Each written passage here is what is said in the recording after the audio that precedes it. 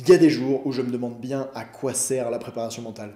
Dans cette vidéo, je vais vous révéler un secret pour lequel, si tous les athlètes le savaient, je risquerais franchement de perdre mon business à l'avenir et de plus avoir de travail. Mais en même temps, comme j'ai très envie de vous aider, je vais vous dire qu'est-ce que vous pouvez faire pour progresser dès maintenant, sans même l'aide de qui que ce soit. C'est parti.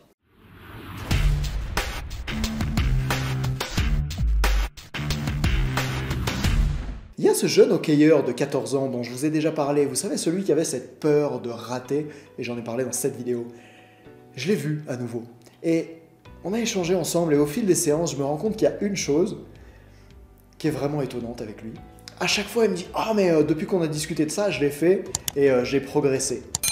Ce qui est très drôle, c'est que avant qu'on se rencontre, il y a des choses qu'il n'osait absolument pas faire et pour lesquelles il avait un niveau très mauvais. Par exemple, bien sûr, on bosse ensemble pour le rendre plus performant en hockey, mais finalement, comme c'est un jeune qui n'arrive plus à dormir avant ses oraux en classe d'anglais ou de français par exemple, qui a peur dès qu'il doit parler à l'oral devant un grand nombre de personnes, d'ailleurs un grand nombre ça commence à partir de deux ou trois pour lui, eh bien, moi je l'ai poussé un peu. On a fait cette séance, où euh, on était dans un cowork et je lui ai demandé de sortir de la salle de coaching, d'aller devant les personnes de l'open space. Il y avait 5 ou 6 personnes, pas énorme. Et de se présenter à tout le monde. Juste de dire Salut, je m'appelle Jean-Pierre. Bien sûr, c'est anonyme ce que je dis. Salut, je m'appelle Jean-Pierre, j'habite à tel endroit et euh, je fais du hockey. Ce qui me passionne dans la vie, c'est X. Voilà, je lui ai demandé de se présenter. Évidemment, ça a été terrifiant pour lui. Il a fallu que je convainque et après qu'on ait un moment pour redescendre au calme, tellement ça l'avait fait monter.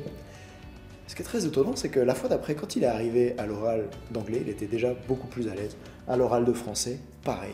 Récemment, je lui ai proposé, pour devenir plus à l'aise en communication, de se filmer en train de faire le truc. C'est-à-dire que tu prends ton téléphone, tu le mets devant toi là, et tu te filmes par exemple, un peu comme quand à l'époque on faisait les, répétitions devant nos miroirs parce qu'on n'avait pas de smartphone.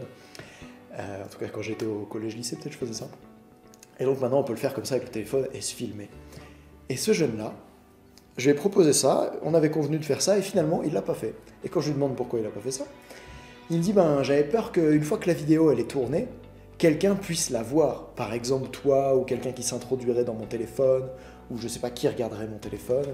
Et à ce moment-là, à nouveau, il avait peur, cette fois-ci, pas peur d'être jugé par toute la salle devant laquelle il, allait présenter le truc, mais peur que quelqu'un le voit en train de réaliser ce qu'il faisait. Et cette peur-là, cette peur qui empêche de passer à l'action, peu importe quelle peur c'est, tant que la conséquence c'est avec cette peur je passe pas à l'action, ça c'est un énorme problème et c'est celui pour lequel je me dis mais est-ce que vraiment ça sert à ça la prépa mentale? Regarde, je vais un peu plus loin, je t'explique. Avec ce jeune, je dis bon bah ok, très bien, tu l'as pas fait de ton côté, euh, on va le faire pendant la séance. Donc je lui ai proposé de se mettre debout, euh, le téléphone en face de lui, et puis de se filmer. Je lui ai posé des questions, ou je lui ai même demandé d'expliquer le hockey à un pote euh, fictivement. Et devant son téléphone, il devait faire ça. Et au fur et à mesure, ça nous a presque pris 30 minutes, hein, on est vraiment à l'effort. À la fin, il m'a dit Ah, mais à la fin, j'étais plus à l'aise qu'au début. Et ouais, parce qu'il y a un élément super important que n'importe qui qui a déjà pris un cours de ski débutant se rend compte, c'est qu'il suffit de passer à l'action pour progresser, surtout quand je suis débutant. Et dans plein de domaines, les sportifs qu'on entraîne, ils sont débutants. Il y a tellement de zones dans lesquelles quand on passe pas à l'action, en fait, on ne peut pas progresser et il suffit de passer à l'action, de faire un pas en avant pour que déjà le niveau monte dans tous les endroits en général où on est débutant, ça marche très bien. Et même si vous entraînez des athlètes de haut niveau, en général, il y a des endroits où ils sont encore débutant. Dans mon cas, j'ai déjà vécu ça. J'avais pris des cours particuliers de trampoline, une vingtaine, et je me souviens de ce coach, merci encore Gaëtan, qui m'amenait à chaque fois. Il me disait Tiens, bah là, tu vas faire ça, par exemple, backflip, backflip, backflip, entre trois trampos euh, les uns derrière les autres. Et je lui disais, mais Gaëtan, c'est pas possible, si je fais ça, je vais mourir. Et à ce moment-là, son job à lui, ça consistait pas à me dire, mais si, euh, pousse longtemps dans la toile, euh, lève la tête, monte les genoux, quoi que ce soit. Non, son job à ce moment-là, c'était de me convaincre que j'étais capable de le faire et de faire en sorte que je passe à l'action. Je passais à l'action, j'essayais quelques fois et j'y arrivais. Et en fait, c'est ça une grosse partie de la préparation mentale. Si vous croyez que la préparation mentale, c'est méditer, se concentrer, se relâcher, des outils pour se motiver, alors je pense que vous n'avez pas compris. Bien sûr, ça peut être une partie de ce qu'on y fait et c'est intéressant. En réalité, la réalité de mon métier aujourd'hui, c'est qu'une grosse partie de ce que je fais, ça consiste à aider les athlètes à oser dépasser leurs limites. à faciliter la prise de décision en fait, à faire en sorte qu'ils se dépassent, qu'ils osent faire des choses qu'ils n'osaient pas faire. Et c'est ça le secret.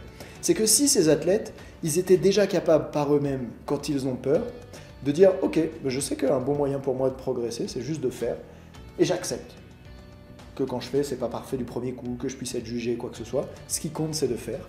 Alors, il passera à l'action et pour un certain nombre de personnes, ils auraient bien moins besoin de mon aide ou de l'aide de qui que ce soit. Il n'empêche que l'être humain, il a un problème de fou en général avec ses peurs. Quelque chose le bloque, c'est souvent pour ça qu'on parle de blocage dans le monde du sport, et avec ça, il passe par l'action, et s'il passe par l'action, il ne peut pas progresser. Et malheureusement, alors que cette partie du job est essentielle, comment j'aide les gens à se dépasser, comment je les aide à oser, eh bien dans très peu de formations elle est présentée en prépa mentale. On va vous présenter des routines de performance, on va vous parler de méditation, on va vous parler de concentration, on va vous parler de motivation. Mais quand est-ce qu'on vous parle de comment bâtir cet état d'esprit de champion, de comment faire en sorte que des gens qui sont bloqués osent passer à l'action parce que c'est ça qui va les faire progresser? Eh bien moi j'ai décidé d'en parler dans la formation Audace et Résilience Coach, une formation de plus de trois mois pendant laquelle toutes les semaines on se retrouve avec les entraîneurs pour échanger sur des problématiques dans lesquelles il y a du coaching individuel aussi, dans lesquelles il y a un espace de formation en ligne pour vous apprendre à faire tout ça et bien plus encore. J'ai pas le temps de tout présenter dans cette vidéo. Si tu veux en savoir plus sur la formation et voir comment est-ce que je pourrais t'aider, réserve dès maintenant un créneau gratuit dans mon agenda de 30 à 45 minutes pendant lequel on va voir où est-ce que tu en es aujourd'hui, où tu as envie d'aller et puis surtout quels axes de travail à mettre ensemble pour passer de là à de là. Si tu veux, tu pourras le faire tout seul ou rejoindre ma formation et on le fera ensemble. J'ai hâte de pouvoir aider les entraîneurs à aider les athlètes à se dépasser parce que je crois que c'est ça qui est magnifique dans le monde du sport, c'est d'oser faire plus que ce qu'on croit être capable de faire. Alors le lien se trouve dans la description, réserve ton créneau dès maintenant.